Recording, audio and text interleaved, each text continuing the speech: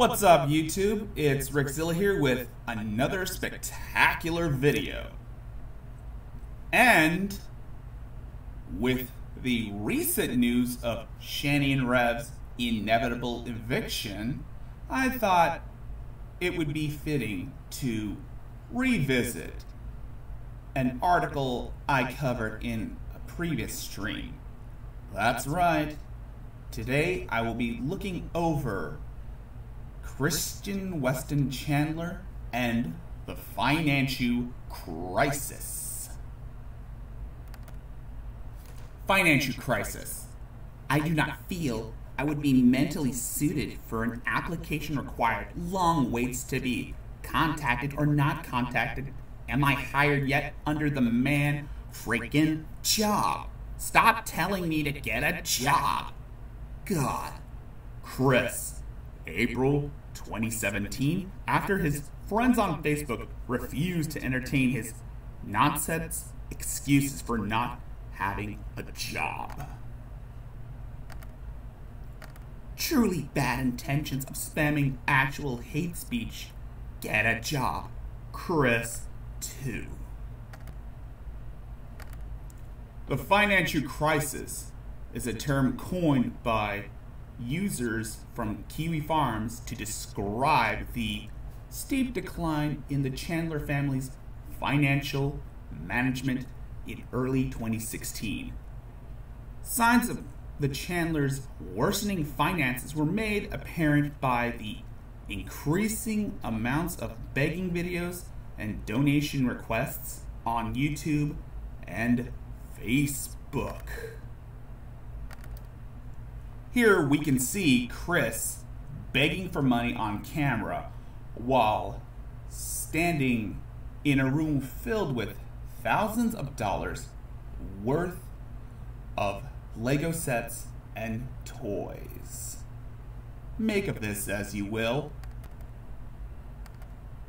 In June 2017, Chris began to take his Patreon account more seriously and recommended drawing Sonichu comic pages.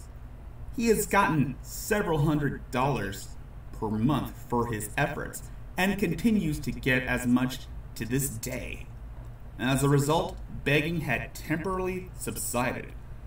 In mid 2018, however, begging resumed for the stated purposes of avoiding foreclosure on 14 Branchland Court and buying enough food for his family. Chris stopped caring about the Financhu crisis by 2019 because of the dimensional merge and the generous backing of Ali Hirschberg and other financial enablers. Chris continues to beg, but only for conventions, toys, and video games. Chris now also believes that he has vast wealth in Dimension C 197 to pay off the creditors, but creditors do not buy into fictional worlds and have managed to sue him for at least $10,700.79 as of September 2nd, 2020. Given that Barb is elderly on a fixed income and Chris is lazy on a fixed income, it is unsurprising that many followers worry that the death of Barb could lead to the so called homeless saga, a wet dream for A-loggers and Weens, but devastating for both Chris and many of his followers. Background To this day, the Chandlers' financial woes are caused by their own irresponsible behaviors. Chris, learning absolutely nothing over the years, has squandered any available money on children's toys, video games, fast food, and sex toys. Barb, on the other hand, has simply been ignoring long term debts and letting them pile up to alarming amounts, armed with only vain hopes that her man baby of a son would raise money for her bills.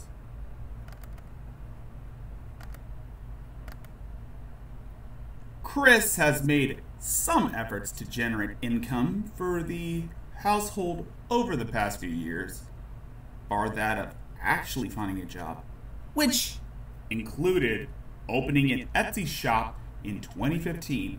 However, any profits gained would immediately go straight to toy purchases, an irresponsible move that would turn out to be a recurring problem that keeps the Chandlers in the red. The shop would eventually shut down from Chris lazily not filling Etsy orders, but he would still find some revenue by the occasional eBay sales of select merch from the Horde. To further compound the issue, Chris has been instilled with a very real belief that fans are willing to drop large sums of money into his bank account for nothing. An expectation that has since been strengthened by the $1,000 donation by DStacks in September 2015. This belief would take on the form of the many begging videos that highlight the saga to this day. Barb seems to have outstanding debts that dwarf Chris's financial handiwork. On September 2016, she faced lawsuits from Discover and Capital One for failing to pay the large amounts of her credit card debt. According to Virginia District Court records, it is worth noting that it takes a lot of ignored debt collector calls over a long period of time to get a simple credit card debt escalated to a lawsuit, suggesting that Barb may have been outright ignoring making any payments to her credit cards. Only time will tell if more creditor companies begin to sue Barb for her neglect. In August 2016, Chris revealed that the household is still under a mortgage of $115,000, introducing a more worrying debt looming over the horizon.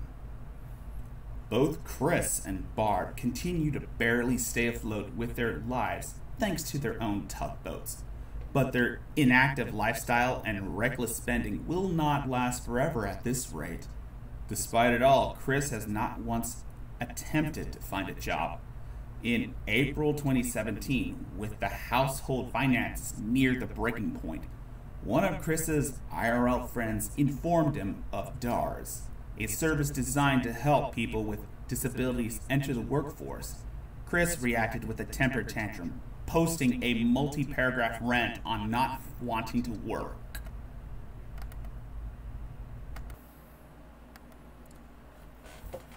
Chris's frivolous spending during the crisis. Like any terminally irresponsible adult. Chris likes to keep his bedroom filled with toys while keeping his wallet empty. Below is a list of the known expenses Chris has made during the Financhu crisis, collected from online postings and eBay purchase history. Some amounts are estimated, but all amounts are debilitating.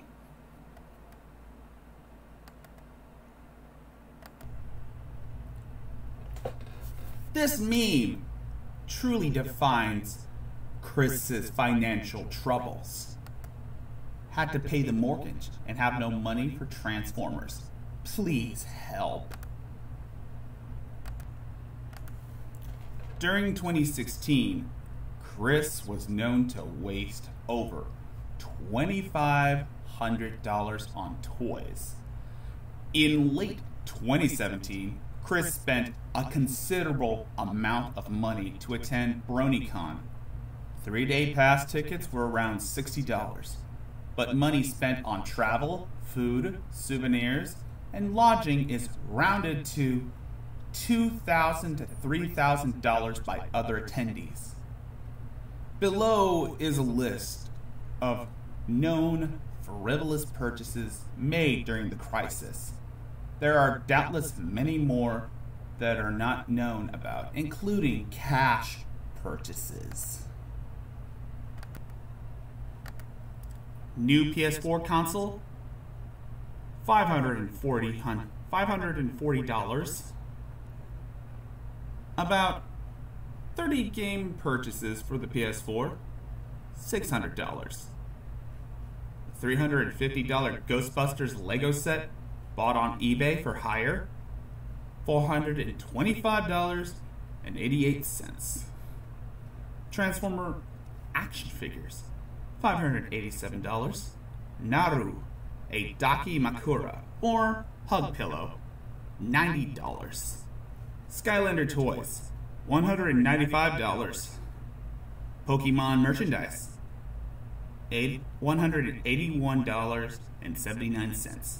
Amiibo, Smash Series, Pit, $12.99. I'm Done Adulting t shirt, $23.99. Lego Dimensions, assorted sets, $238. My Little Pony themed card sleeves, $13.54. 14K gold Cleopatra bar 16 inch necklace, $399.99. Tokyo Treat Box, minimum 31.50 per month for 31 months. $976.50. Skylander Avatar products for use as raffle prizes. $750. Doopy Do Over artwork, $80. Xbox One, $400. Xbox Live Gold, $59.99. Hexbox Games, $89.94. Sonic Forces, $39.99. DNA Ancestry reports on Chris, Barb, and Bob, $500. God of War PS4, $59.99.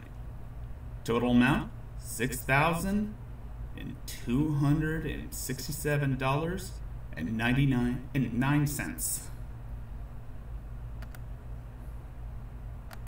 The realization that you're going to end up on the streets, priceless. Why Chris refuses to work. You want money? Get a job. Our response is that we are already employed by your bosses, bosses, bosses due to our better and special powerful abilities. Therefore, for all of your haterade chugging get a job spouters out there, I suggest you shut up and enjoy your ability to settle in a cozy office or whatever. Chris, clinging to his fantasies about the dimensional merge to justify why he is unemployed in the real world.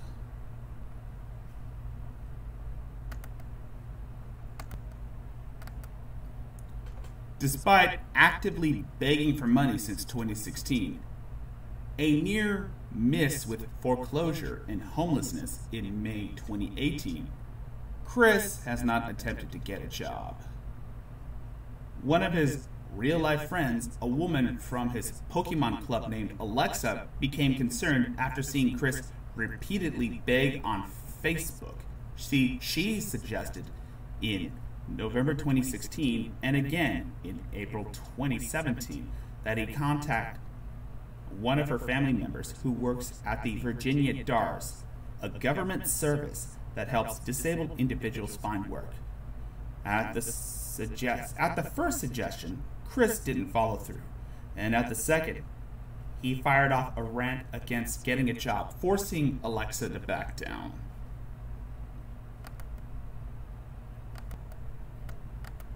In his rant, Chris gave the following flimsy excuses.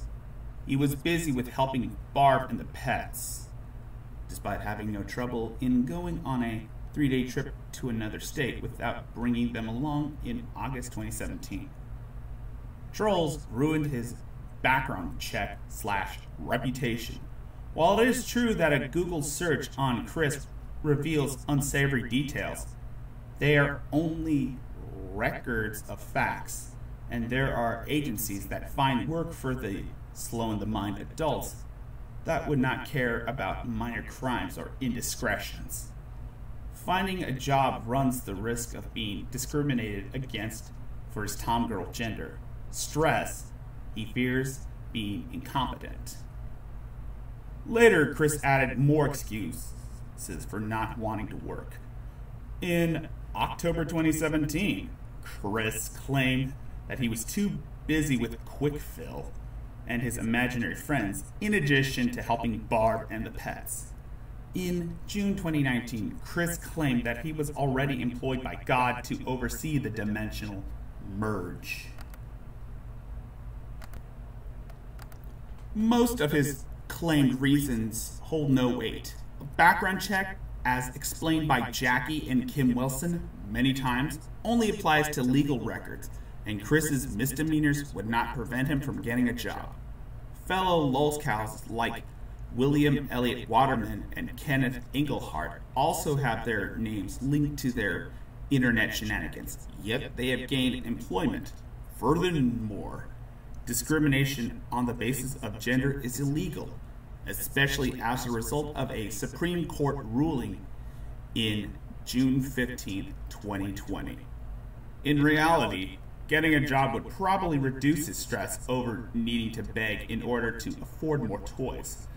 His excuses on being fearful of making mistakes and his obsession over his imaginary friends are blocks set down by his own mind, revealing that rather than growing up and assuming responsibility for his future, he would rather remain a man child forever. Chris's only plausible claim was in May 2018, when he feared that Weens and Egg-Logs will harass him at work similar to how they harassed the management of the Endgames and Anytime Fitness into banning him. Now, that's kind of fucked up. Why you shouldn't donate to Chris. Buying things from Chris and or slash or donating to him is not at all recommended. Mainly because Chris has habitually neglected his customers he has repeatedly failed to ship orders to his buyers on time and will ignore messages from customers asking about their purchases, or give a myriad of excuses as to why they haven't been shipped.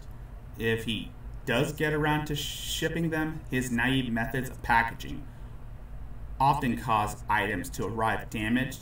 Other times, he simply won't ship items at all, as seen perfectly with his Patreon. If Chris is angry enough, he can use your information against you.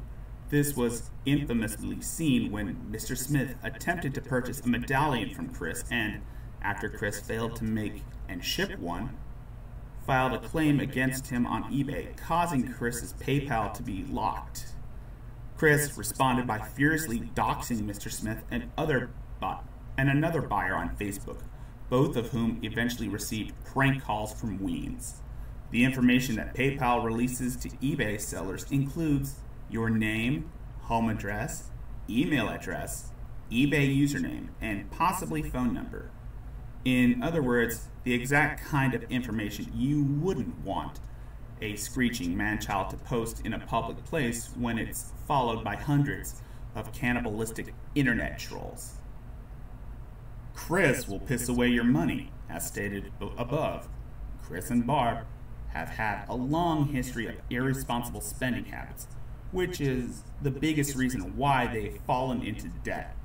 Even if he does manage to ship something to you without any sort of hassle, or claim he won't spend your cash on toys, chances are still extremely high that Chris will immediately blow your money on Legos, action figures, video games, and or other stuff, and then immediately go back to begging. Future. Although Barb currently claims $900 of Chris's tugboat each month to pay the active mortgage on 14 Branchland Court. The seriousness of the Financhu crisis combined with Chris's impulse spending have led many followers of Chris to speculate on whether the passing of Bob or Barb will lead to the financial ruin. Chris's future revenue, other than the monthly tugboat and fans' support, is likely to be very limited. with some of his followers admitting that Chris will never get any kind of loan or credit. Even if Chris were to reverse his stance and try to get a job, nearly all potential employees would be unwilling to take on someone with little to no skills and over a decade of real life and internet notoriety.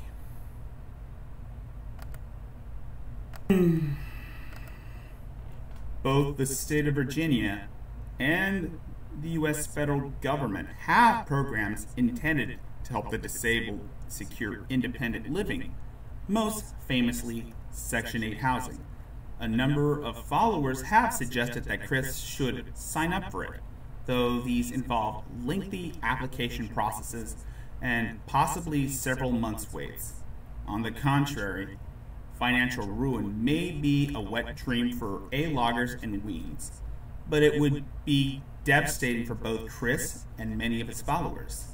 The 2014 house fire caused a number of followers to doubt whether Chris will be able to cope with sleeping rough with little more than his clothes and medallion, especially after being pampered with toys and video games for many years.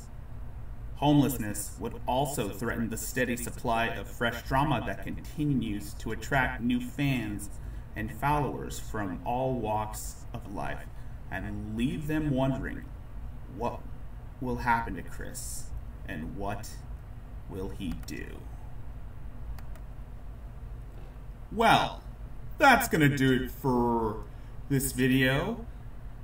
I hope you guys liked it, and if you want to see more, be sure to like, comment, and subscribe.